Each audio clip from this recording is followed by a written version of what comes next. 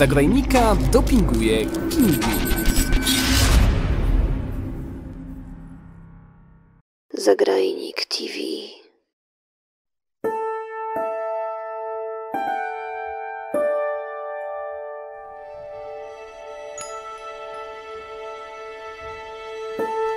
To, co działo się wokół Broken Age, stanowiło swego rodzaju przełom, bo choć sama w sobie przełomowa nie była i być nie miała, wytyczyła nowe ścieżki dla wielu młodych twórców i weteranów branży.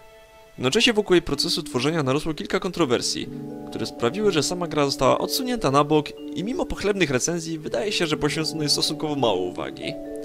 Można więc zadać sobie pytanie, no i co wielkiego?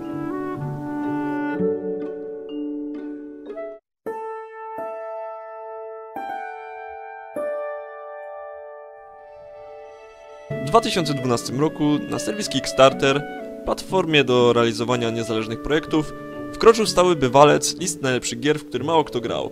Tim Schafer, który przyłożył ręce do takich tytułów jak The Secret of Monkey Island, Day of the Tentacle, Full Throttle, Grim Fandango, Psychonauts czy Brutal Legend. Po niezadowalających wynikach sprzedażowych dwóch ostatnich tytułów, jego firma Double Fine przeniosła się na pewniejszy rynek gier rodzinnych oraz małych gier na platformy cyfrowe i mobilne. Nie tak jednak pozostawały ambicje Schaffera, któremu marzył się powrót do gatunku, który przyniósł mu największą chlubę, a mianowicie przygodówki point and click. Choć nadal miały one swoich fanów, to ich lata świetności już dawno przeminęły, a duzi wydawcy nie byli zainteresowani wyłożeniem funduszy na coś tak niepewnego. Dlatego właśnie Schaefer postanowił zwrócić się o pomoc do samych graczy. We wspomnianym 2012 roku wystartowała zbiórka na grę o kodowej nazwie Double Fine Adventure, zapowiadaną jako dwuwymiarowa przygodówka utrzymana w starym stylu, z ustanowioną kwotą 400 tysięcy dolarów. Pojawiły się także nagrody dla wpłacających, gdzie za 15 dolarów mieliśmy otrzymać grę do pobrania, a wśród najwyższych możliwość spotkania się z samymi twórcami. Schaeferowi wyraźnie zależało na kontakcie z wpłacającymi, gdyż jedna czwarta sumy miała zostać przeznaczona na udokumentowanie procesu tworzenia, którym następnie miał zostać udostępniony wpłacającym. Wynik przerósł na śmieszne oczekiwania, gdyż wymagana kwota została osiągnięta w zaledwie 8 godzin, a po miesiącu łącznie zebrano ponad 3,3 miliona dolarów. Wtedy też obiecano, że dostarczony produkt będzie jeszcze lepszy i większy niż planowano.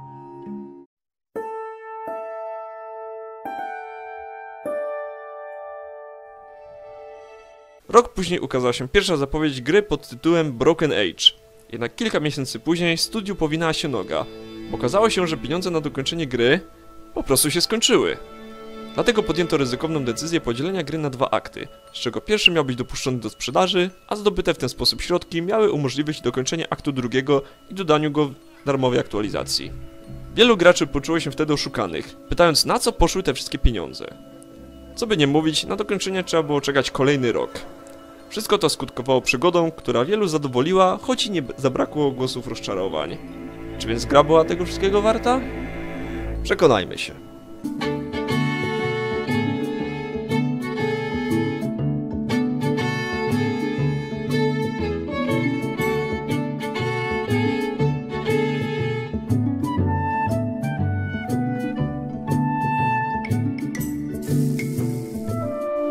Walka Schaeffera o niezależność wyraźnie odbiła się na scenariuszu do gry, gdyż to ona właśnie jest jego główną osią. Historia opowiada o dwóch bohaterach wkraczających w dorosłość. Wella żyje w krainie, gdzie co 14 lat odbywa się ceremonia złożenia w ofierze kilku lokalnych panien, potworowi znanemu jako Mok Chatra, by ten w zamian zostawił mieszkańców w spokoju. Trwa to już od tylu dekad, że obrosło to w swoistą tradycję, a poświęcenie dziewczyn jest także zaszczytem dla ich rodzin. Wella jako jedna z nielicznych uważa, że z potworem należy walczyć, ale ze względu na brak wsparcia jej los wydaje się przesądzony. W dniu przybycia potwora na miejsce udaje się uciec, a od tej pory jej głównym celem staje się znalezienie sposobu na pokonanie go, nim dotrze do kolejnych miejsc. Drugim bohaterem jest Shay. Młodzieniec przez całe życie znajdujący się na statku kosmicznym, gdzie cel jego podróży jest nie do końca sprecyzowany, a opiekę na nim sprawuje nadopiekuńczy komputer matka, dbający o to, by włos mu z głowy nie spadł. I love you. Jest również komputer ojciec, ale ten całymi dniami pilnuje statku z zewnątrz i wraca do domu wyłącznie na noc. Statek jest wyraźnie zaprojektowany, by zapewnić Sheyowi wszelkie możliwe atrakcje. Problem w tym, że są one raczej skierowane do małego dziecka, co na chłopaku od dawna nie robi wrażenia. Jest jednak zmuszany do tej samej rutyny dzień w dzień. Do czasu, gdy tajemniczy osobnik w przebraniu wilka przydzieli mu prawdziwie ważne zadanie do wykonania.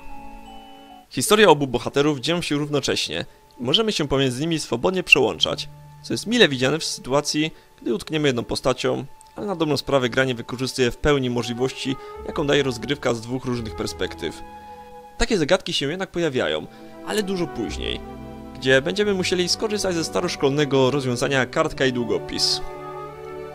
Może to nieco wybić z rytmu, gdyż przez większość czasu poziom trudności jest stosunkowo niski, a sama rozgrywka niesie z sobą relaksujący charakter, czemu sprzyja nie tylko śliczna, ręcznie rysowana grafika, ale również ścieżka dźwiękowa Petera McConnella, idealnie dopasowana do wszelkich lokacji.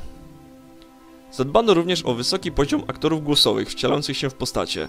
Są to zarówno ludzie z dużym doświadczeniem, jak i tacy, z którymi Schaefer współpracował na przestrzeni lat. A i pojawia się też kilka bardziej znanych nazwisk, z Elijah Woodem w roli Shea, a w rolach drugoplanowych możemy usłyszeć chociażby Jacka Blacka, czy twórcę serialu Pora na przygodę Pendletona Warda. Wszystko to sprzyja poczuciu oglądania świetnie zrealizowanego animowanego filmu. Jednak najmocniejszą stroną gry pozostaje fabuła i bohaterowie. Scenariusz mocno wyróżnia się na tle pozostałych gier Schaeffera, ponieważ o ile te wcześniejsze stawiały przede wszystkim na zwariowany humor i wykręcone światy, Broken Age jest już pod tym względem stonowane, a nawet nieco melancholijne, choć humoru tu również nie brakuje. Najprościej opisać fabułę jako historię o dorastaniu i wyrywaniu się ograniczeniom. Bella i Shay od razu zdobywają naszą sympatię, a czy ich losy w końcu się zetkną, należy przekonać się samemu.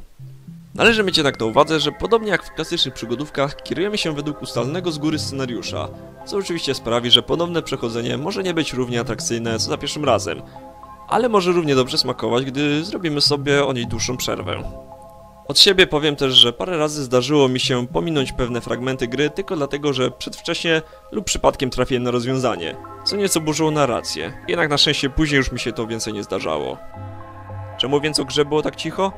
Być może dlatego, że z początku nie znaliśmy całej fabuły, a raczej cele, jakie twórcy sobie postawili.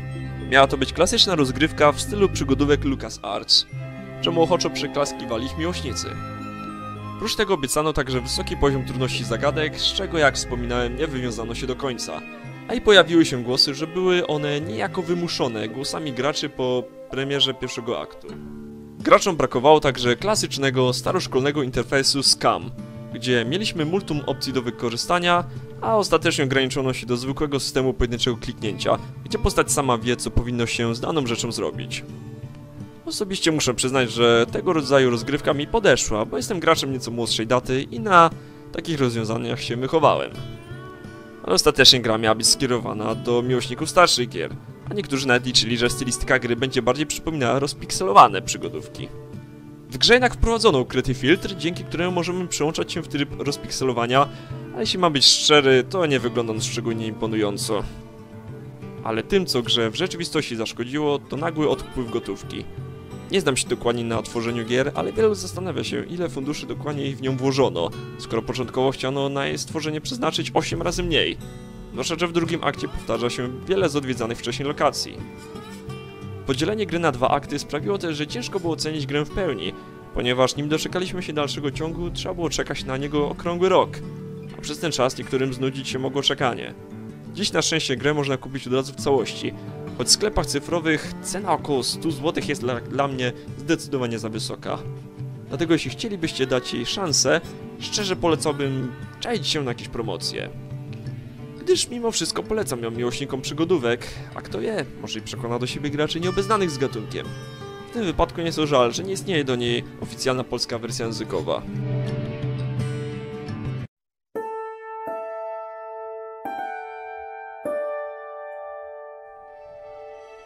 Problemy, jakie wynikły wokół powstania gry, sprawiły, że gdy w końcu pojawiła się zbiórka na wyczekiwane Psychonauts 2, Schaeferowi ostrożniej patrzy się na ręce, a niektórzy nawet podejrzewają go o poważniejsze szwindle, chociażby tym, że ma swoje udziały na nowej platformie, gdzie zorganizowano zbiórkę.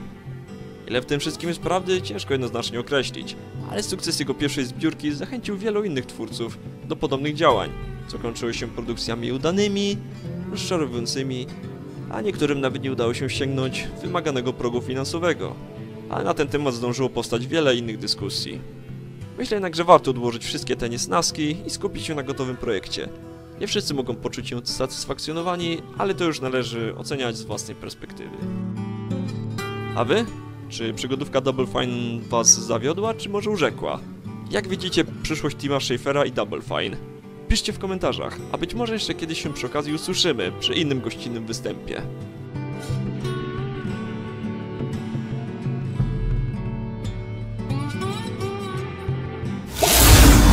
Zagrajnika dopinguje Pingwin.